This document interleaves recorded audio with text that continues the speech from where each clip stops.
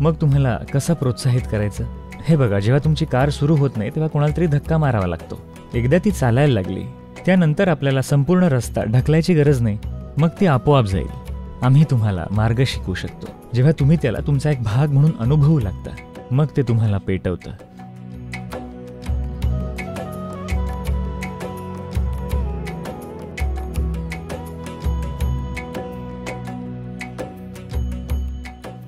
तुम्ही कुणाबरोबर तरी किंवा कशाबरोबर तरी प्रेमात पडलं पाहिजे.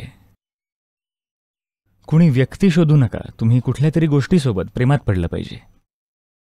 जर कुठली गोष्ट तुमच्यासाठी महत्त्वाची असेल तर तुम्ही सकाळी उठाल. जर कुठल्याच गोष्टीचं तुमच्यासाठी काहीच महत्त्व नसेल तर सकाळी उठायला काय कारण आहे? प्रेमात कसं पडायचं? जेव्हा पहिल्यांदा जेव्हा शिवाला योग शिकवायचं होतं त्याच्या पहिल्या शिष्याला जी त्याची पत्नी होती पार्वती ती शिकायला खूप आतुर होती.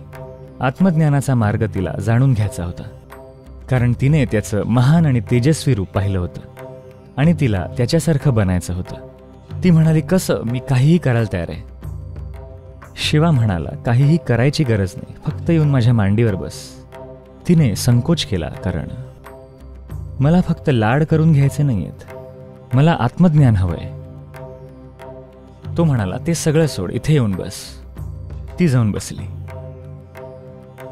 त्याने तिला जवळ उठलं त्याच्या गरजेपोटी नाही तिची गरज पूर्ण करायला.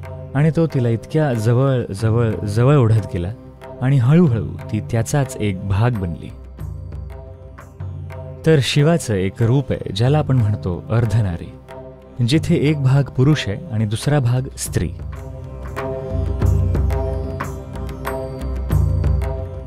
ही कथा तुम्हाला काय सांगायचा प्रयत्न करते की फक्त सामावून घेतल्याने? Only by inclusion. फक्त सामावून घेतल्यानेच जीवन बहरून येईल.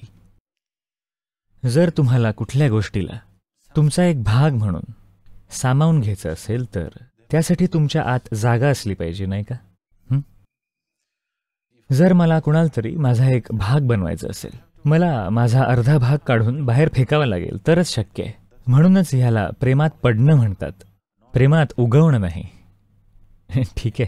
प्रेमात उभं राहणं नाही प्रेमात वर चढणं नाही. प्रेमात पडणं कारण तुमचा एक भाग गळून पडला पाहिजे तरच तिथे जागा होईल. इतर कशासाठी तरी किंवा कुणासाठी तरी. जर तुम्ही संपूर्णपणे गळून पडलात तर प्रचंड जागा असेल. तुम्ही संपूर्ण विश्व तुमचा एक भाग म्हणून सामावू शकता. जर किमान तुमचा एक भाग गळून पडला तर तुम्ही आणखी एका माणसासोबत प्रेमात पडू शकता किंवा सृष्टीच्या एखाद्या पैलूसोबत. तर आम्ही तुम्हाला मार्ग शिकवू शकतो ज्याने तुम्ही स्वतःला रिकामं करू शकता. जर तुमचा एक भाग गळून पडला तर ती रिकामी जागा कशाने तरी भरायला हवी. आणि ते काहीतरी जे तुम्ही नाही आहात. जेव्हा ते तुमचा एक भाग बनतं जेव्हा तुम्ही त्याला तुमचा एक भाग म्हणून अनुभवू लागता मग ते तुम्हाला पेटवतं.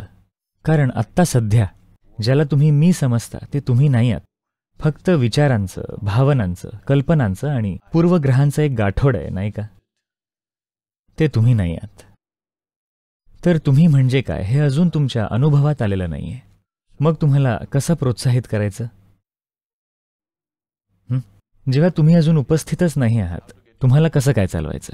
तुम्ही अजून इथे उपस्थित नाही आहात. आत्ता सध्या इथे फक्त विचारांचा एक गाठोड आहे. विचारांचा भावनांचा आणि सर्व गोष्टींचा एक ढग आहे नाही का? म्हणूनच साधना. तुम्ही इथे येऊन थोडीशी साधना केली पाहिजे. सुरुवातीला कोणीतरी तुम्हाला प्रोत्साहन देईल.